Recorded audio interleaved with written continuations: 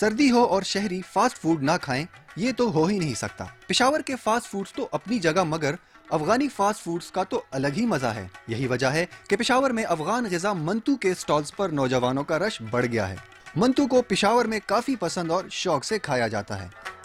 हम तो यहाँ पर हर वीक आते हैं और हम आप कह सकते हैं कि हम एडिक्ट हो गए हैं और इसको अफ़गानी फ़ूड कहते हैं और इसमें चने होते हैं, दही होता है और इसका अपना एक जायका होता है। और मैं सबको कहूँगा कि आए एंजॉय करें। सर्द मौसम में गर्मा गर्म मंतू के ऊपर दाल और दही का तड़का और साथ में स्पेशल सलाद ये ख्याल ही भूख बढ़ाने के लिए काफ़ी है। मंतू की तैयारी में इस्तेमाल होने वाले अज्जा इसके जायके को मुनफरिद कर देता है। मंतु जो है आटे से बनता है और इसके अंदर प्याज कीमा और मसाले डालते हैं। फिर हम इस पे दही अ, कुरमा चिप्स और सलाद डालते हैं।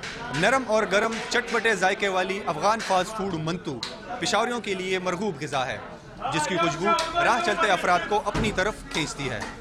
कैमरामैन खुरम जलील के साथ यासिर अहमद, न्यू न्यूज़, पिशावर।